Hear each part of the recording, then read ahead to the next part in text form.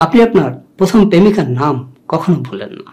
মানুষ তার প্রথম প্রেমিক বা প্রেমিকার নাম কেন ভুলে না? Question is that science is there dear learners dear leaders how to remember everything মনে রাখার উপায়কে নিয়ে আমার একটি পপুলার ভিডিও আছে। অনেকে দেখেছেন। মনে রাখার গোপন মন্ত্র আজকে। বিজ্ঞান কি বলে সেটা নিয়ে আলাপ করব এবং ভিডিওটি খুব ছোট হবে। আগেটি যেমন পার্ট বাই পার্ট ব্যাখ্যা করেছে, আজকে দেখব বিজ্ঞান কি বলে। পৃথিবীর সমস্ত গবেষণা মনে রাখা নিয়ে কি বলে এবং মনে রাখা নিয়ে পৃথিবীতে বিস্তর গবেষণা হয়েছে এবং যারা এ নিয়ে গবেষণা করেন, যারা সফল হয়েছেন, তাদেরকে আমরা বলি নিউরো সায়েন্টিস্ট নিউরো সায়েন্টিস্টরা মেমোরি সম্পর্কে কি বলেন, কীভাবে আমরা মনে রাখি? আমরা মনে রাখি দুটো উপায়। সারা পৃথিবীতে এটি বিজ্ঞানসম্মত গবেষণা এটি প্রমাণিত হয়েছে। আমরা মনে রাখি দুভাবে। প্রথমটিকে কি বলে? প্রথমটিকে বলে র্যাপাটিশন প্রথমটাকে কি বলে? র্যাপাটিশন র্যাপাটিশন বলছি রিপিটেশন না। যেহেতু জানেন যে আমাদের চ্যানেল ভকাবুলারির উপর একটু কাজ করি প্রনাউন্সিয়েশন নিয়ে আমরা কাজ করি, সেহেতু একটু স্মরণ করিয়ে দিচ্ছি যে this is not repetition this is repetition anyway repeat করা। মনে রাখার আসল মন্ত্র হচ্ছে মনে করা রিপিট করা।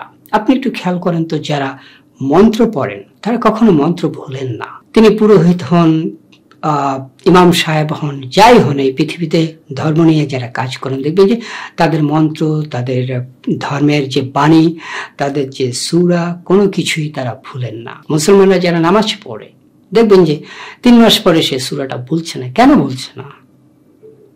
রেপাটিশন তারপরে ধরেন যে আপনি আপনার নাম ভুলেন না, কেন ভুলেন না জানেন? রেপাটিশন আপনি আপনার বাবার নাম, মার নাম ভুলেন না, কারণ রেপাটিশন এই পৃথিবীতে সবচেয়ে বেশি সই করেন আপনি নিজের নাম। বয়স সবচেয়ে বেশি লেখেন আপনি নিজের নাম। নানা কারণে আমাদেরকে নিজের নাম লিখতে হয়। দাদার নাম আমরা ভুলি না, অবশ্যই এই জেনারেশনের একটু different experience that is there are some children who cannot remember their grandparents নেই নাম তারা মনে রাখতে পারছে না। কারণ নিউক্লিয়াস ফ্যামিলি হয়ে যাওয়াতে apartment culture flat culture nucleus family you know about nucleus family joint ফ্যামিলির অপোজিট হচ্ছে নিউক্লিয়াস ফ্যামিলি অনেকে তাদের দাদার নাম বলতে পারে না। কেন পারে না? কারণ ওই ফ্যামিলি তার দাদার নাম তাকে দিয়ে চর্চাটা করায়নি। রেপার্টিশন রেপার্টিশনটা হয়নি বা রিপিট হয়নি।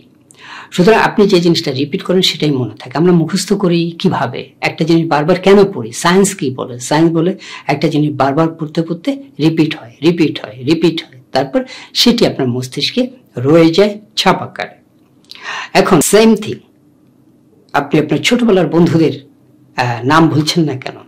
না, বেশিরভাগ ভুলে যাই কিন্তু কয়েকজনের নাম মনে থাকে। কেন মনে থাকে? তাদের কথা আমরা মাঝে মধ্যে মনে করি। আমাদের অতি স্মৃতিতে মাঝে মধ্যে আমরা ফিরে যাই। আপনি আপনার প্রথম প্রেমিকার নাম কখনো ভুলেন না।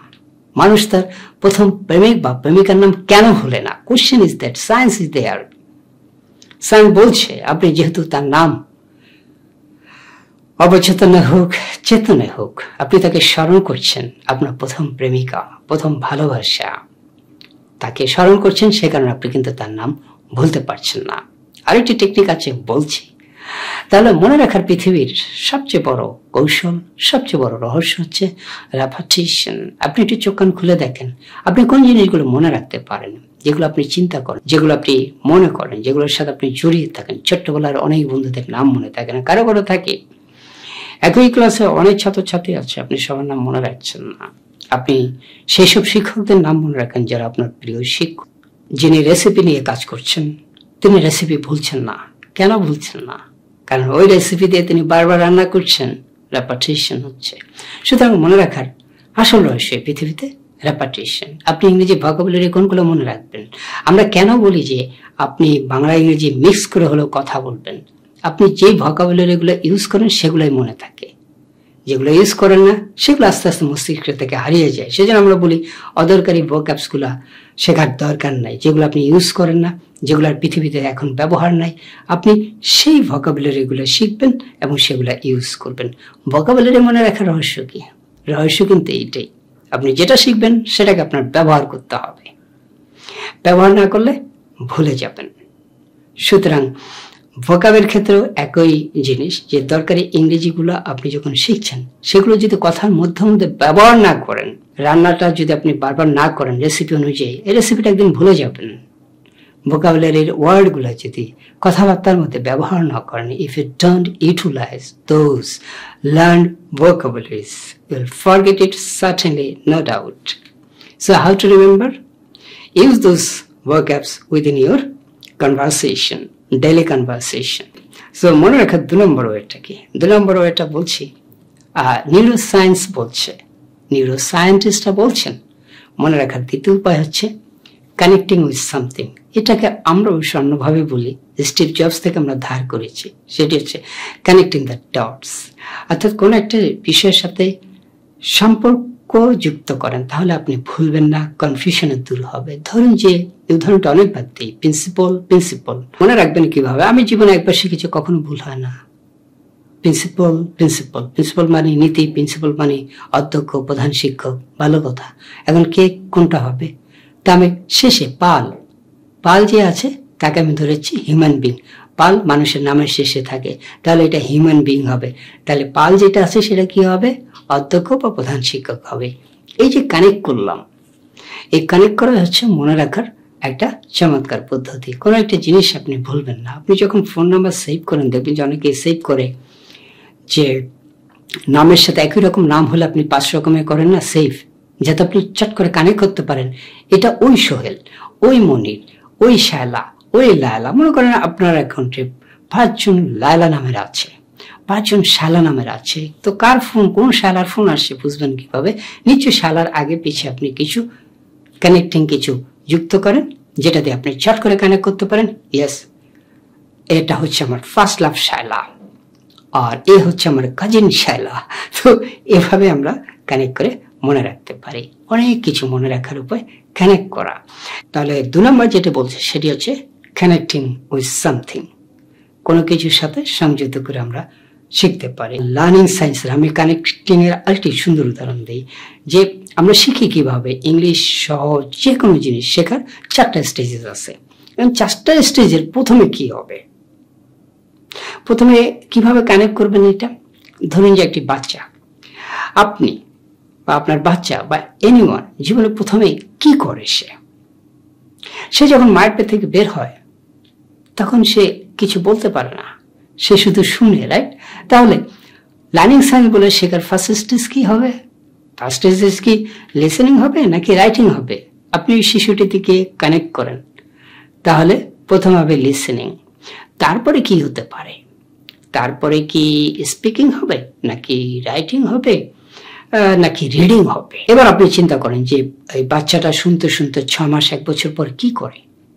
ছ মাস, এক বছর পর সে ওয়া ওয়া, মাম মাম মাম মাম করা শুরু করে। তার মানে তার মানে স্পোকেনটা মনে হয় সেকেন্ড স্টেজ ইয়েস লিসেনিংয়ের পরে হচ্ছে স্পিকিং তারপরে কি?